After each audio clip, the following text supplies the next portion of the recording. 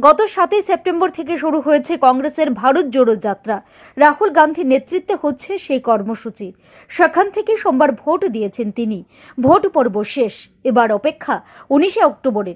ওই দিনেই জানা যাবে কে হচ্ছেন কংগ্রেসের পরবর্তী সভাপতি। দীর্ঘ দুই দশক পরে গান্ধী পরিবারের বাইরের কেউ কংগ্রেসের সভাপতি পদে নির্বাচিত হতে চলেছেন। এই ভোট ঘিরে সরগরম ছিল কংগ্রেসের অন্দর। কংগ্রেসের শীর্ষ নেতৃত্বের একটি অংশ চাইছিলেন যে রাহুল গান্ধী সভাপতি পদে বসুন।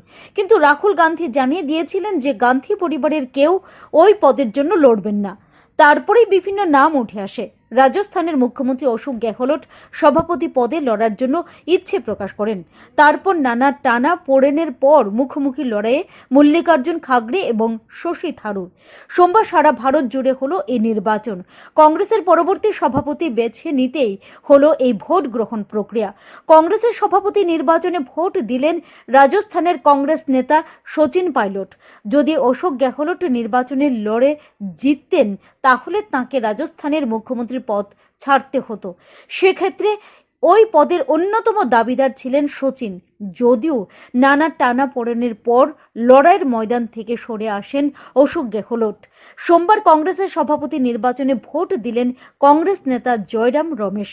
মোট সাড়ে নয় হাজার প্রতিনিধি এই ভোটে যোগ দিয়েছেন। শতাংশের বিচারে তা ছিয়ানব্বই শতাংশ।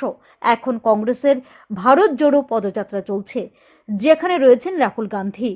তার সঙ্গে সে যাত্রায় যোগ দিয়েছেন বেশ কয়েকজন শীর্ষস্থানীয় কংগ্রেস নেতা। ব্যুরো রিপোর্ট আর নিউজ।